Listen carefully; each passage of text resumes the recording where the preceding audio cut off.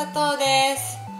今日は久しぶりにサンドイッチを作りたいなと思ってるんですけど私ですねあのコンビニさんのパンでですね一番大好きなのがじゃじゃんセブンイレブンさんの金の食パンです。この食パンがねすごく濃厚でふわふわで美味しくて大好きなんですけどこれを使ってですね今日は卵焼きサンドを作りたいなと思います。卵焼きをねサンドイッチしてやる。卵サラダのサンドイッチとは違うこれ名古屋の喫茶店で食べた味の再現がしたいなと思って作るんですけれど卵焼きサンドイッチを作りたいと思います。見てね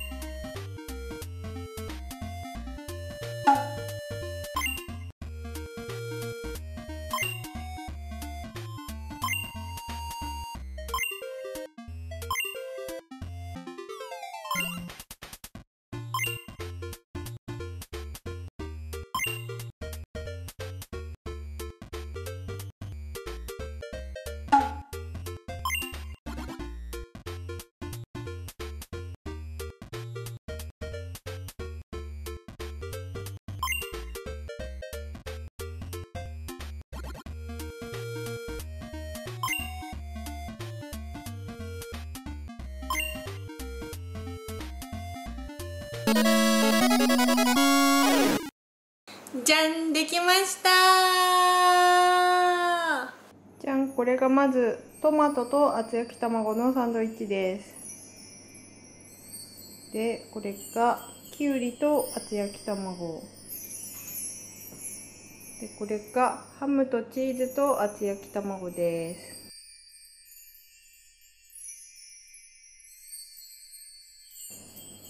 じゃん。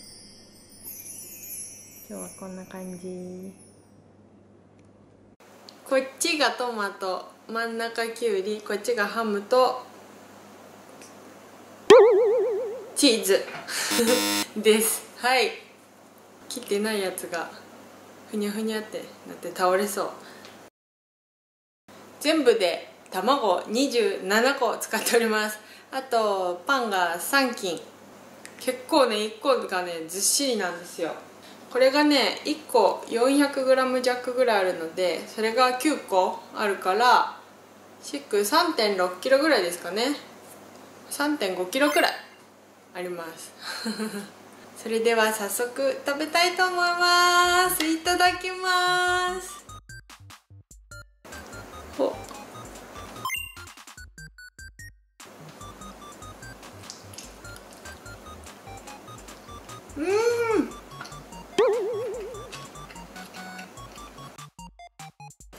想像よりだいぶ美味しい。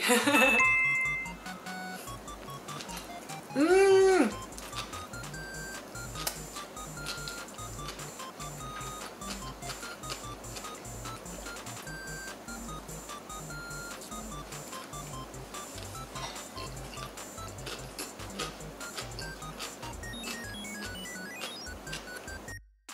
いろんないろんな要素があるんですけどまずパンががすごくいい香りがするのとあとバターあのマーガリンじゃなくてちゃんとバターを塗ったんですけどそれがまたすごいあのこのバターのいい香りとパンの小麦の焼いた香りとあとねすっごいすっごい卵がジューシーに 焼けててその風味の合わさった感じがねすごい大好きですこれ。めっちゃいい感じ。これじゅめちゃくちゃジューシーですねこの分厚い卵が。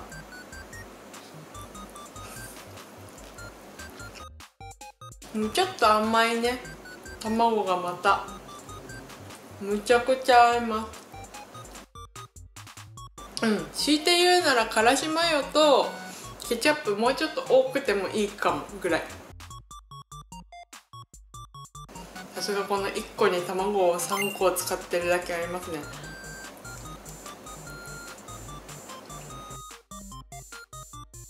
よし次。トマト。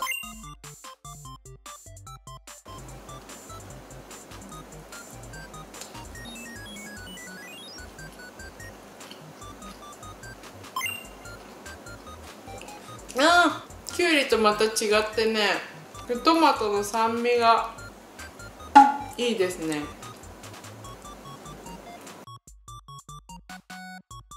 きゅうりよりもまた水分が多いんでよりジューシーですね。パンがもうふにゃふにゃです。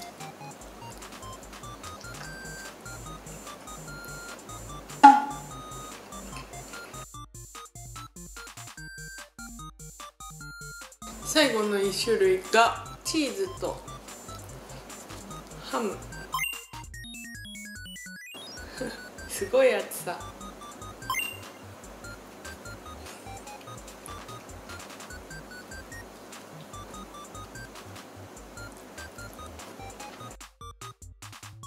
ハムの香りと食気がいいね。これも美味しい。卵の甘さあもう、うん。卵の甘さがねこのハムの塩気と香りでちょっと引き立つ感じ。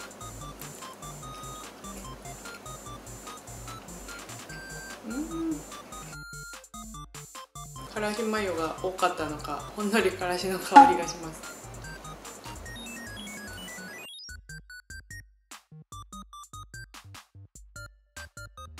はい3等分ゾーンは完食しました。おーりゃ。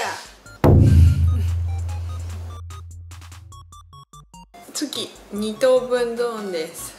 ドドンとサンドイッチ感が。すごい。何センチこれこの横だとこんぐらいあります。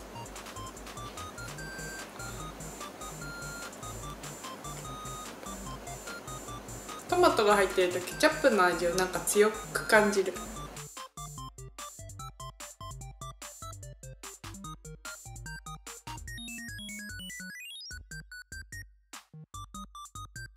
チーズがめっちゃ溶けてる。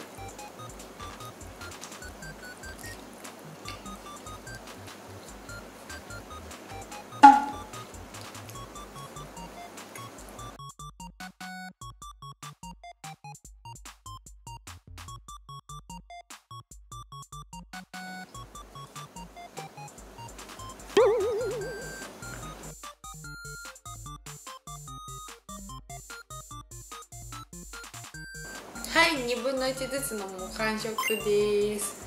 最後に残ってるのはこの丸ごとのやつです。いや丸ごとのやつね本当に一個一個めちゃくちゃ重いから。みんなはこれ食べたらお腹いっぱいになるんじゃないかなって思います。あそうそう。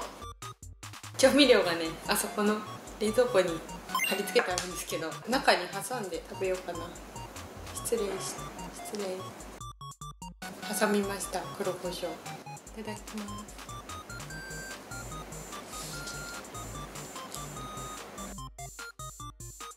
うん。黒胡椒の香りで引き締まる。卵がめちゃくちゃ多いからもうふんだんにかけても大丈夫ですね。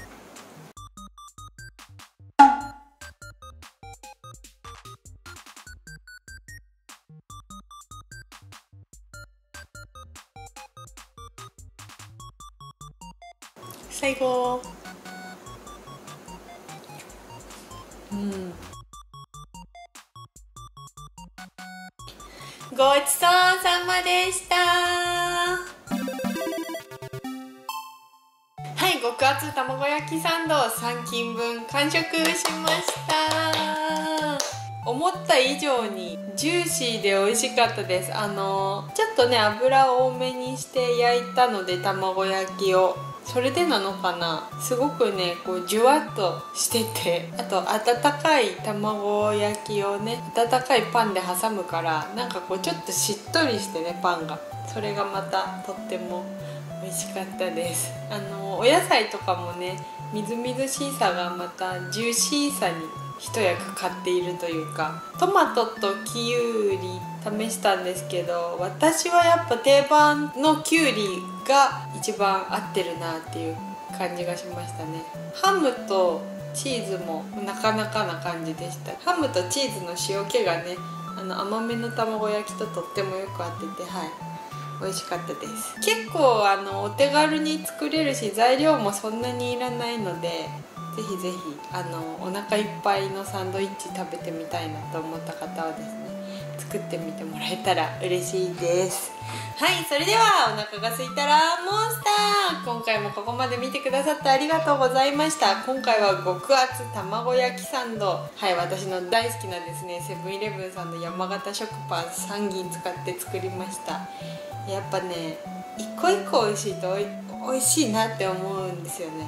なんて言うんだろう素材というか、はい、コンビニさんのあのプライベートブランドのものとかも結構ね美味しいのいっぱいあるのでまたこんな感じでちょこちょこ私の好きなやつとかをみんなに紹介できたらいいなっていうふうに思います。それではまた次の動画でお会いしましょう。バイバーイ。おすすめのなんかパンとかあったら教えてちょ。